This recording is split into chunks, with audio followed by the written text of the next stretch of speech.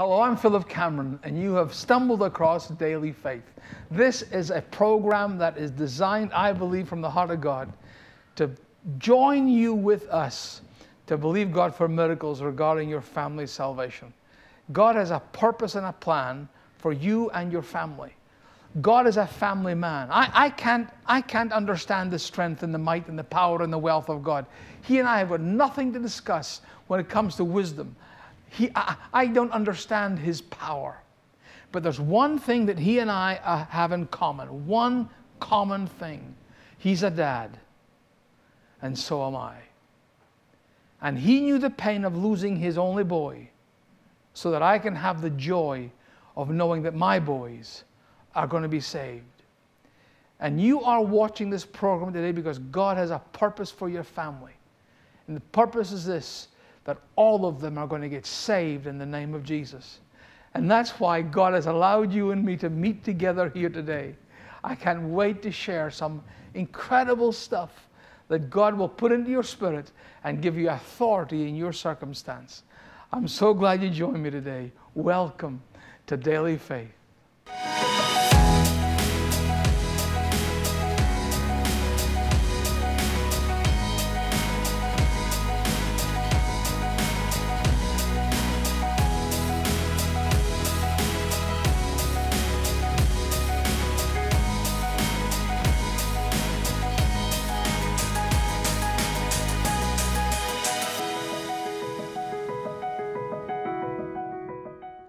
There is nothing more powerful than knowledge, knowing something inside. Nothing gives you authority in a circumstance. Ever had an argument with someone that didn't know what they were talking about? And they can, some, usually, the less you know, the louder you, speak, the, the more volume you have. But when you, when you have the authority of knowledge, that you can look to someone and say, That's not true, this is true. And knowledge, that power that comes from knowledge, is the very thing that the devil fears most in your life. Do you know that the devil trembles every time you use the name of Jesus? Do you know that? Do you know that when you talk about the blood of Jesus, that every demon in hell and Satan himself quakes because the blood is the, is the separation point between me as a, a human, frail being to becoming a son and an heir of Jesus Christ. When the blood of Jesus is applied to me, then suddenly I am no longer someone at the, at the whim and the mercy of the devil. The whole thing turns, and I have authority over the, the, the powers of darkness by the blood of Jesus. He said, If you ask anything in my name, it shall be given unto you. His name gives you the authority and the power over your circumstance. And I'm watching you right now. As sure as I'm sitting talking to someone, you have been beat up by your circumstance recently. Your family may be in shambles. Your marriage is on the rocks. Financially, stuff just is falling apart. And the devil is there at night. So when you put your head on the pillow, hell breaks out inside your head every fear, every demon that can come and tell you that it's not going to work and this is going to happen to your kids or your grandkids. Maybe you're, you're a grandparent. I'm a grandparent of six grandkids and, and, and I live for my grandbabies.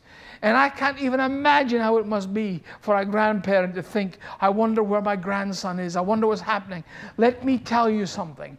There is a knowledge, there is a power that you can have from God that overwhelms every act of hell and every power of Satan working against you. It is the power of God that you have when you use His name. When I was a wee boy back in Scotland, in case you wonder where I come from, I'm Scottish. My dad sent me down one day to a shop in town called Bruce the Ironmonger. It was the most incredible place in the world.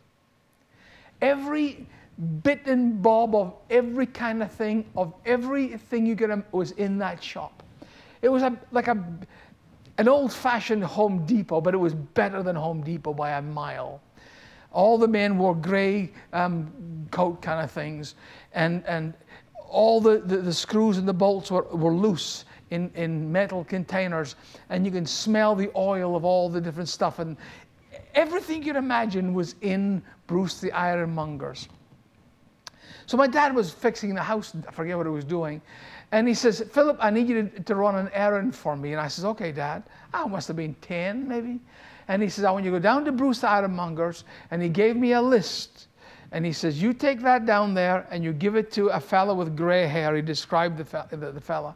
And I said, okay, Dad. So off I went. And as I don't know if you do this, maybe you're not so mean as me and my dad. And but when I send one of my grandkids or, or Melody when, when she was little, I would say to her, you know, go and get this for me, and I'm counting. So they would run away, and I would say one, two, three, and they'd run the legs off because I'm counting. And after five, I'd stop counting, and then I'd hear their footsteps, and I'd say 21, 22, 23, and they'd come back gasping. I was as fast. Oh, yeah, well, wow, you did that in 21. I, have got all my grandkids getting water from the fridge, and um, six is my normal number I start when they finally get back.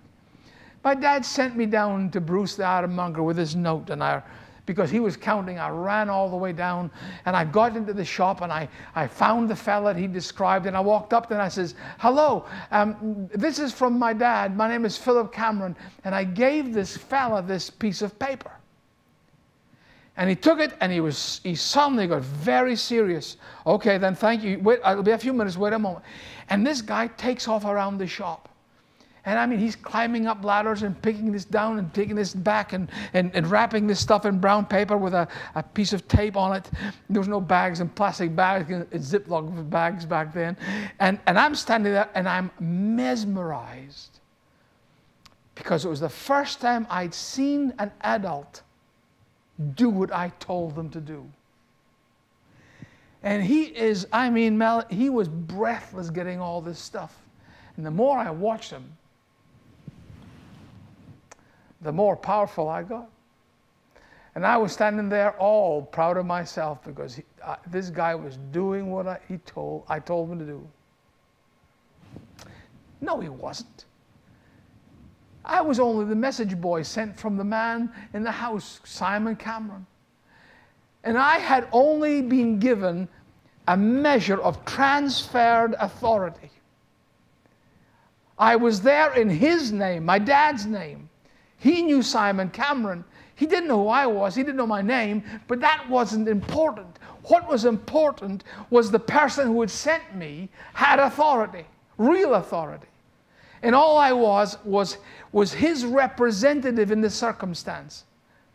But when you're 10 years of age, and you put that piece of paper in the adult's hand and he scampers all over the place and gets all the stuff and puts it in a, a, a, sack and he gives it to me and he says there you are. Tell your father i said hello and i got all and i dragged and pulled that bag home and i never felt so important in my life.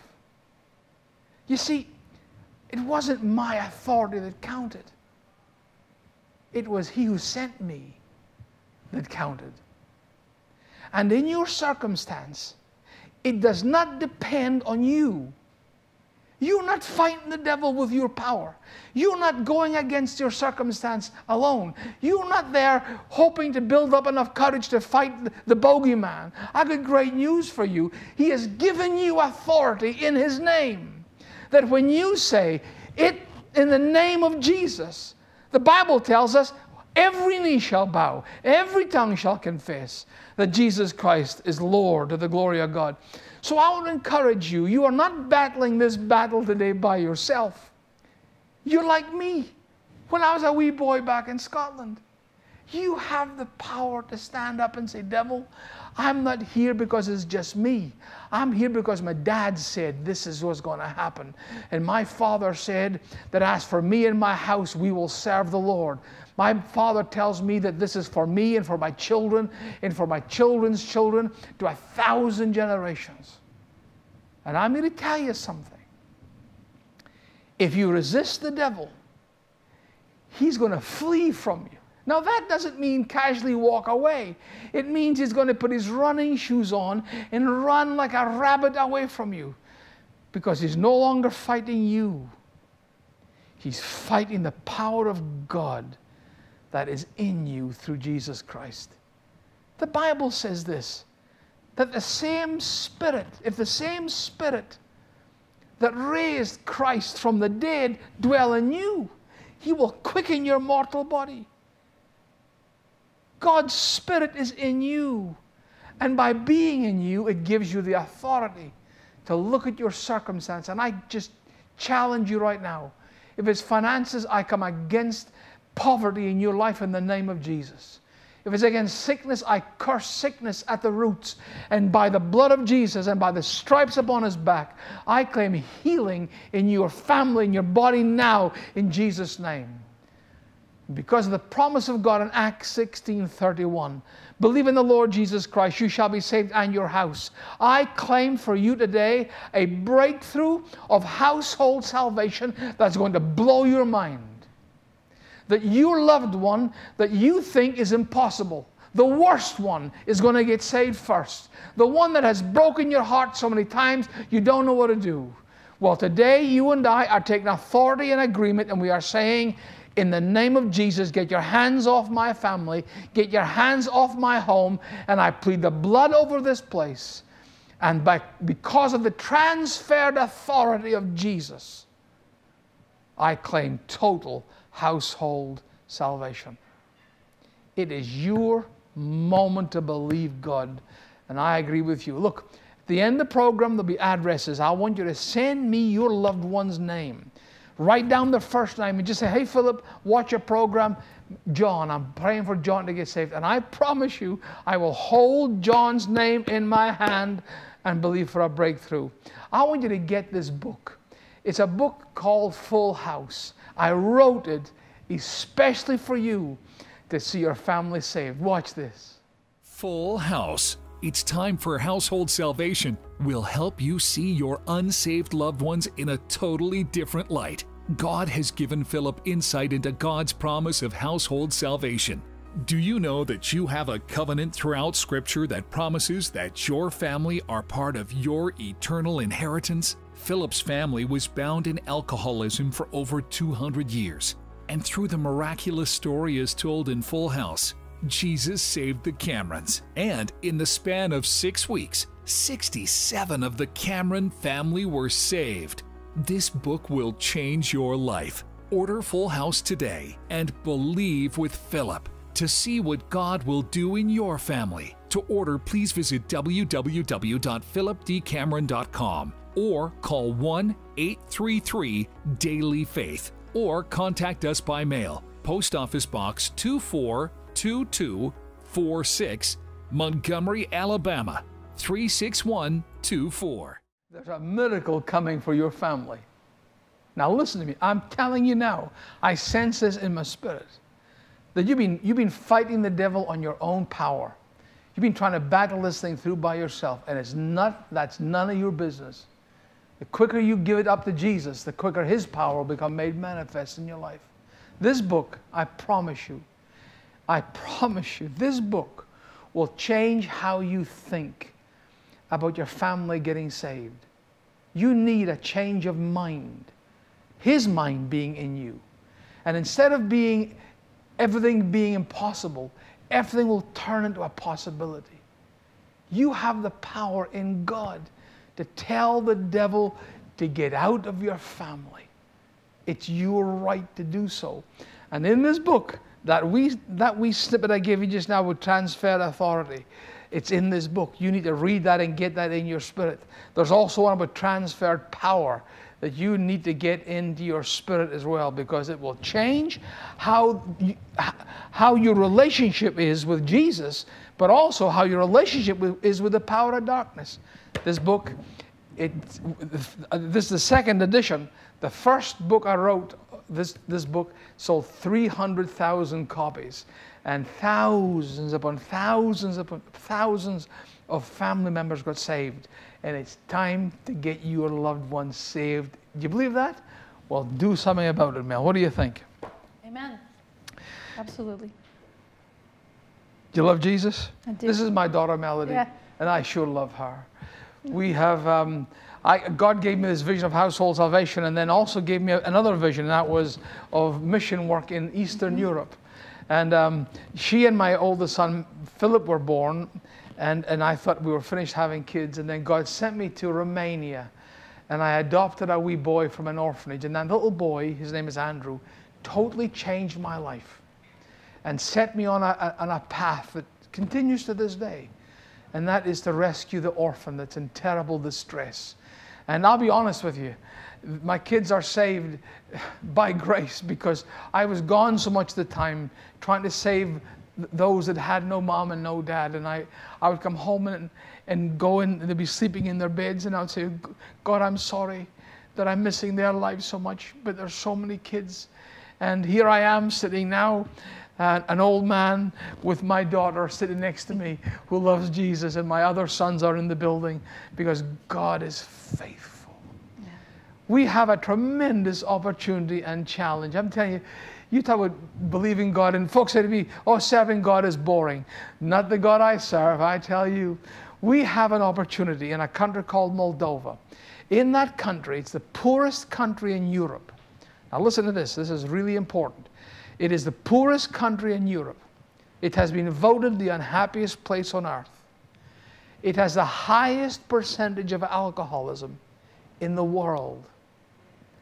And out of that mess, comes orphans. Families are broken, fathers die young, some leave and never come back. They go to a foreign country to, to get a job.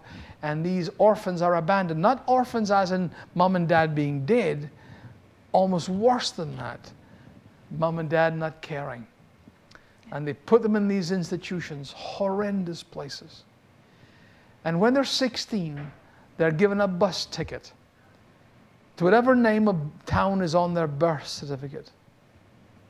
A couple of dollars and they put out the door, and a, a, a girl or a boy that's never been at a shop, knows nothing, naive, goes out and will walk to the bus station because, well, that's where they're meant to go, and they'll, then they'll realize there's no point getting on the bus to a town that no one knows me or wants me.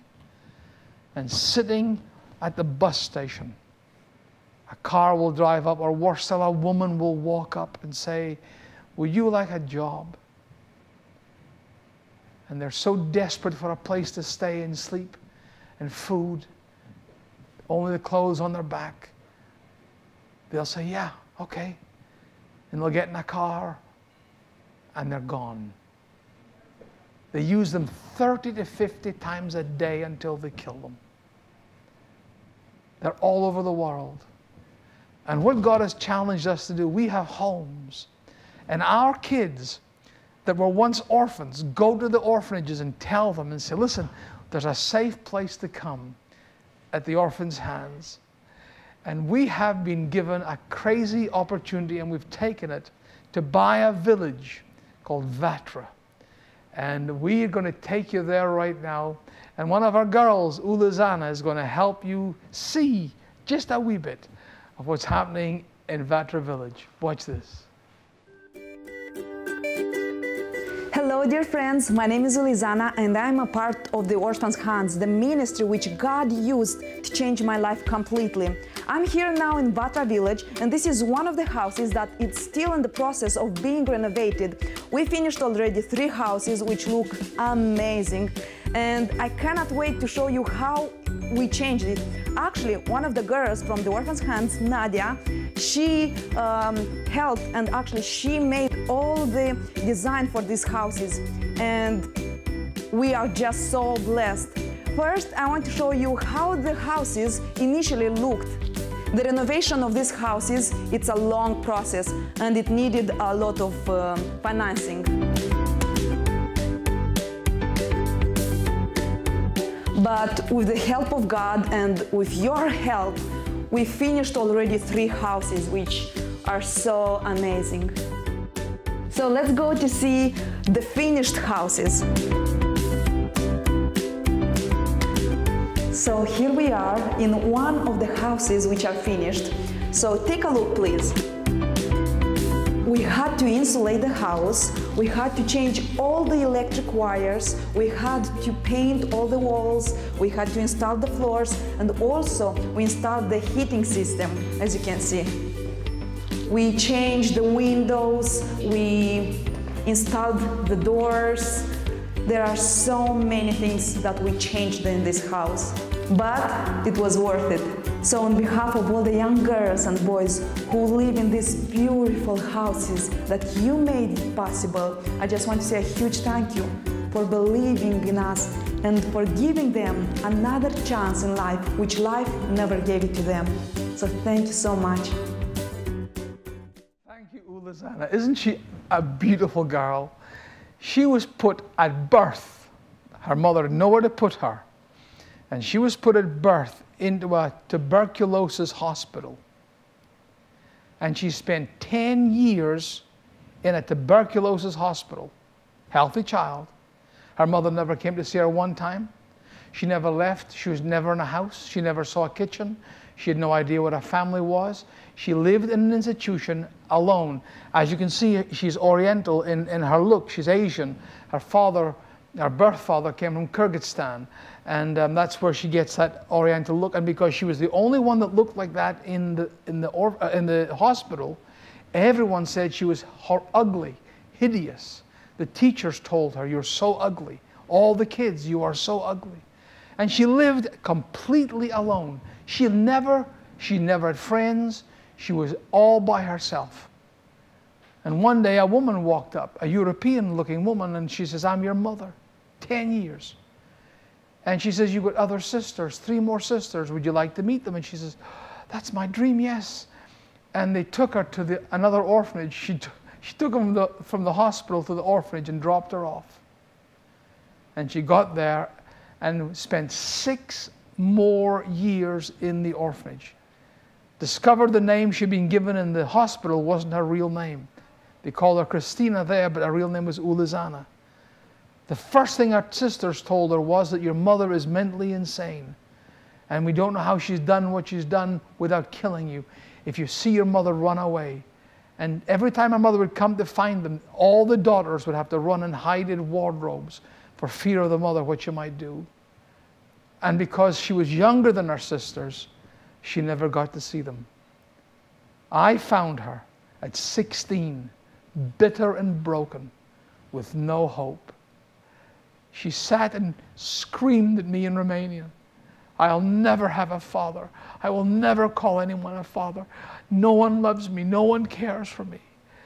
And we loved her and, and spent hours and hours having her fight with us and Jesus has changed her life, and she is a preacher of the gospel. You should hear her preach. I think think about what you said earlier about transfer of authority, and she spent 16 years of her life not even knowing her own name. Yeah. And not only does she know who she is now, oh, yeah. she knows whose she is. That girl loves Jesus. and that girl that you saw on that screen is nothing like no. the girl that walked through that door. Oh my What goodness. an anointing is on her life. Amazing. And um, there are so many more just like her, waiting for somewhere to go, somewhere, a place where uh, they can come and they can live. And Vatra is just that. And I can't wait for more of them to I watch, find out who they are and whose they are. I watch in America, I'm sure you've seen it. Uh, it, it, it they play Silent Night, and there's pictures of dogs freezing to death. Yeah. And, and it's, you know, save one of these dogs by giving $19 or whatever it is. I could take that same voice over that the man is speaking, and I could replace every one of those dogs in the picture and cats with orphans. And, and all the words he talks about for the animals, we could, I, I, every time I see it, I get mad because we have mixed up our, our value system when a dog and a cat, and I love dogs and cats, but they're not so important as an orphan. And we have an amazing opportunity with Vatra Village. You just saw us, uh, Ulazana, walking through it. We have until the 1st of July to find $140,000. And we can open up the houses of Vatra Village and save 90 more kids like Ulazana. You can make such a miracle happen in the lives of these kids. They sit in orphanages, literally, waiting to be put on the street. They don't care about their education because there's no point because an orphan won't get hired.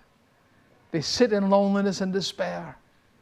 And our kids, who were once orphans, Ulazana amongst them, goes to the orphanage and sits down and says, Let me tell you something. I slept in that bed for 10 years. This was my room five years ago. And God has changed my life around. And that's what we are doing, and that's what we are believing God to do through Vatra Village. So I want you to pray right now. If you could be one of 140 people, if I could take you there and say we could, we could buy this whole place for $1,000, you would say, I'll do it. Well, that's the miracle we're praying for. Will you ask God, what will you have me to do to make the miracle of Vatra Village a reality? Pray about it, will you? For over 25 years, the Cameron family has been changing the lives of orphans in Romania and Moldova. From providing running water, flushing toilets, and clean wells, to coal for heat, new windows, as well as food and clothing. They champion the physical needs of the orphans in these broken and desolate countries. Many of Moldova's orphans are saved from the horrors of trafficking through homes founded by the Camerons, and in the process, orphans become daughters and sons. They come to know their Heavenly Father and are forever changed by the love of Jesus. God help the Camerons lift these amazing young men and women out of darkness. Now, no longer orphans, they want to return and invade that very same darkness with the light of Jesus Christ. The Orphan's Hands equips these daughters and sons to become missionaries. Your monthly gift of $31 will allow us to rescue and take in more girls and boys, saving them from the hell of human trafficking. Your monthly partnership will allow us to care for those in the Orphans' Hands homes in Moldova and the Ukraine. When you partner with us on a monthly basis, giving a dollar a day, you will receive every 30 seconds a testimonial book of the lives changed by the Orphans' Hands. If you want to join Philip and Chrissy in taking care of these precious young people, please contact us today by calling 833 Daily Faith. You can also give by going online to philipdcameron.com or by writing to Post Office Box 242246, Montgomery, Alabama 36124. So many lives depend on what we do.